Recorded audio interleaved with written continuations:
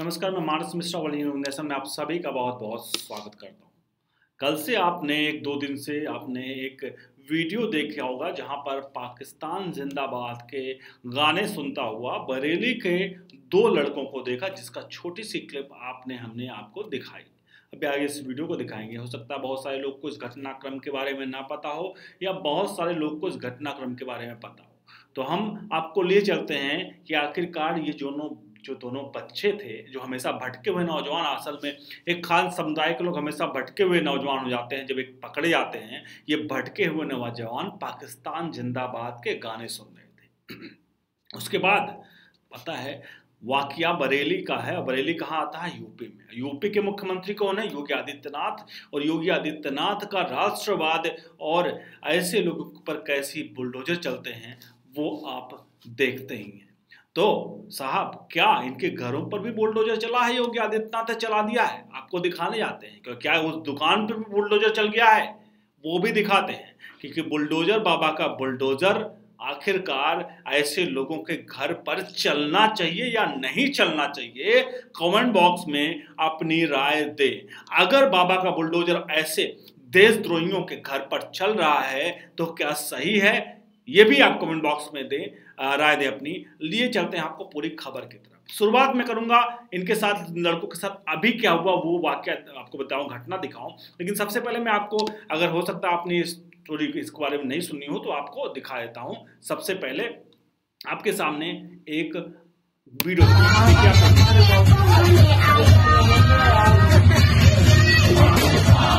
इस वीडियो को मैंने अभी म्यूट किया इसके आवाज़ को, क्योंकि यहाँ पे इसमें पाकिस्तान जिंदाबाद के नारे गाने में ऐसा कुछ यहाँ पीछे से आवाज़ आ रही है। और मैंने इसलिए इसको म्यूट किया हुआ है, कॉपीराइट की वजह से मैं पूरा गाना, ये पूरा इसको सुना भी नहीं सकता हूँ, लेकिन इसमें एक गाना बज रहा जहाँ ये लड़के दोनों यहाँ पर सुनते हुए देखे जा रहे हैं। और एक बार, ये ये देखिए, ये लड़का है, अभी ये देखिए, आ रहा है, और यहाँ पर गाना चल रहा है।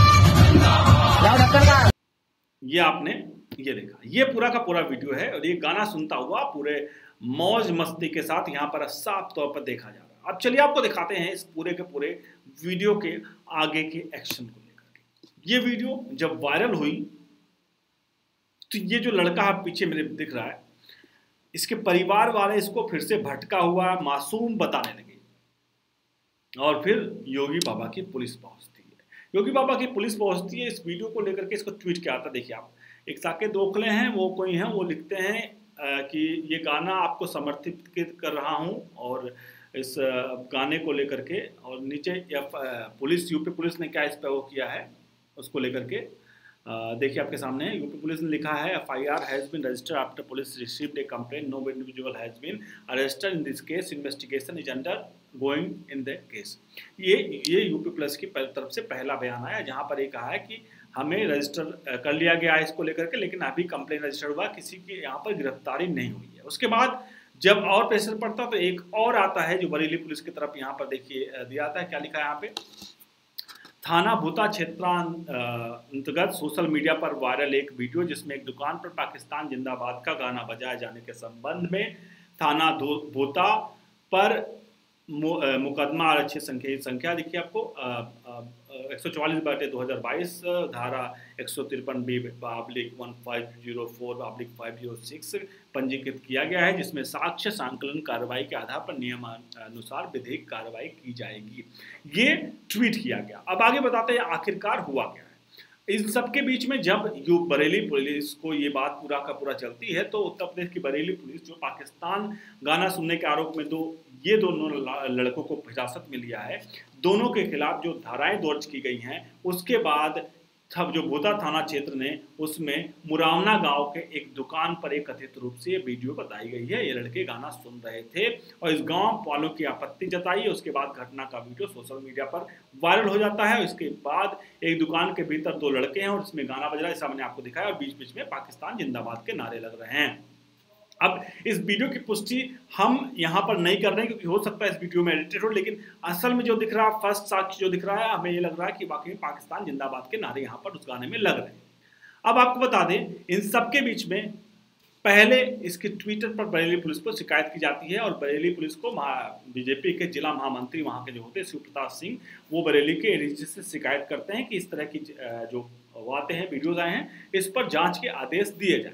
उसके बाद बरेली पुलिस ने आपको दिखा कि बरेली पुलिस ने शुरुआत में ये किया। लेकिन आपको बता दें, इस सबके बीच में उन दोनों लड़कों को गिरफ़्तार कर लिया गया था। जी हाँ साहब, गिरफ़्तार कर लिया गया था। अब आप कहेंगे गिरफ़्तार कर लिया गया था, क्या का मतलब है? जी हाँ साहब, गिरफ़्तार कर लिया गया था और उसके बाद उसके बाद इनके साथ अब क्या हो रहा है, वो मैं आपको दिखाता हूँ।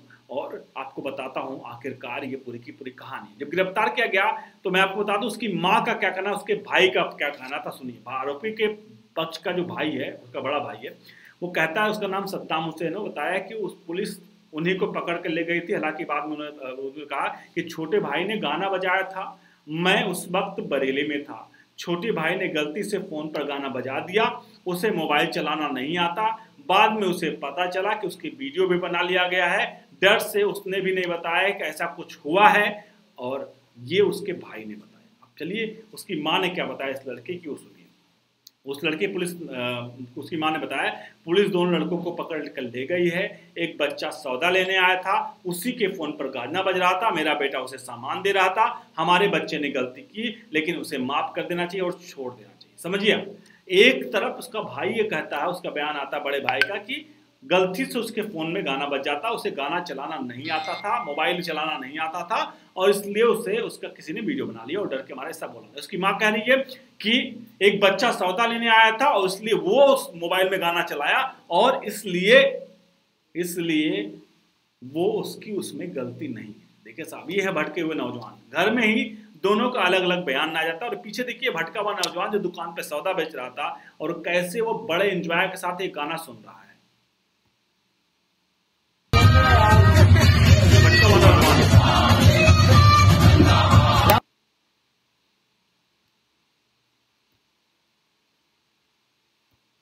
अब आपको मैं बता दूँ, इन सब के बीच में पुलिस ने जो कहा है, पुलिस ने इन दोनों आरोपियों को पहले गिरफ़्तार किया और बाद में इसे छोड़ दिया।